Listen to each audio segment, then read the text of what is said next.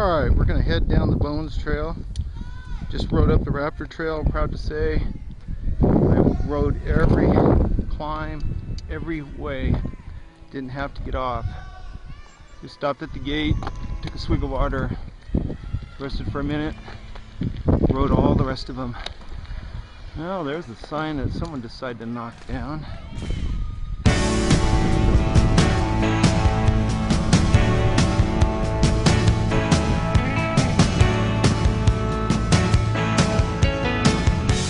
Sign says, I can't tell.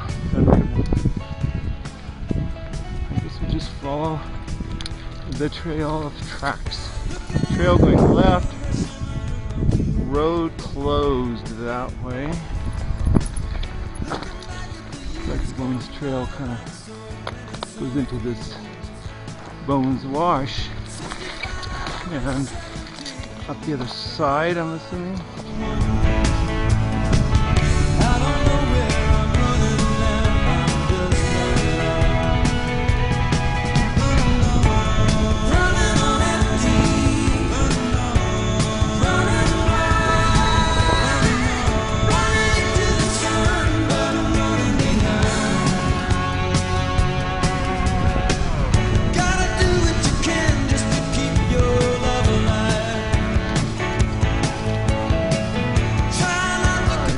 The Bones Jeep Trail, wherever the hell this thing is. Heading down to Peck Lake. We got ourselves a uh, water tank, watering trough, salt lick, well pump, and a well here.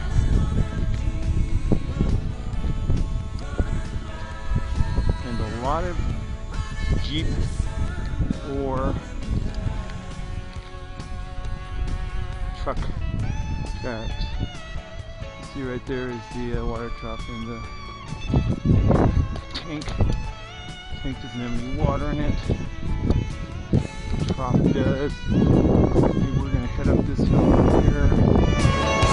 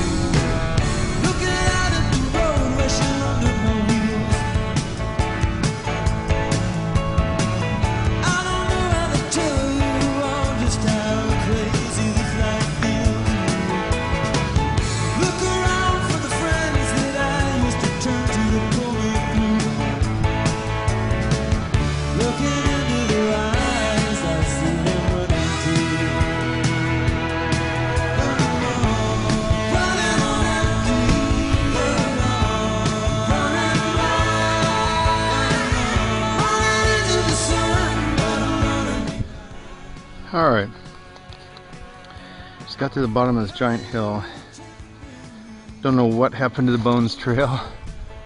Ended up on uh, some uh, pole line roads and then some fence mending roads and finally I'm down here by Verde Creek. So I'm going to ride through these trees to Verde Creek and see where the heck I am. I do know I'm 2.3 miles away from the Raptor Trail in Dead Horse.